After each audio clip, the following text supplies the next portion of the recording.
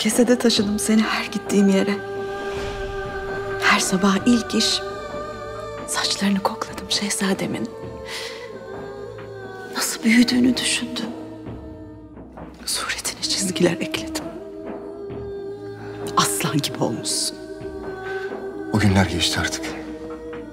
Mazide kaldı.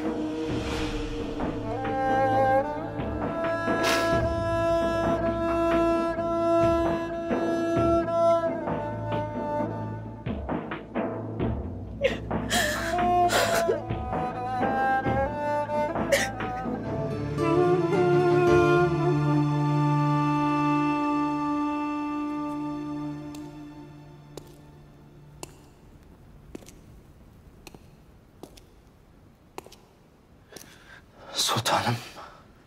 Sinan. Sen nasıl geldin buraya? Hisar dizlerini ziyaret bahanesiyle geldim.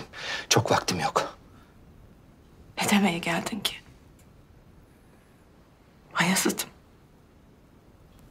Civan verdim yok artık. Hiçbir şeyin manası kalmadı. Savaş bitti. Bitmedi sultanım. Şehzademizin intikamını alana dek sürecek. Kösem Sultan'dan, Sultan Murat'tan hesap soracağız. Cezalarını çekecekler. İşte o gün bir nebze olsun huzur bulacaksınız. Ve belki de o huzur ikimizin saadeti olacak. İkisinin de ciğerini sökmek istiyorum doğru. Kanlarını içsem soğumaz yüreğim. Ben saadetimi yitirdim paşa. Umudumla birlikte toprağın altına girdi. Burada kalmanıza gönlüm razı değil sultanım. Sizi çıkaracağım. Sen beni boş ver paşa. Yapabiliyorsan evladımın mezarını değiştir. O bir şehzade. Layık olduğu üzere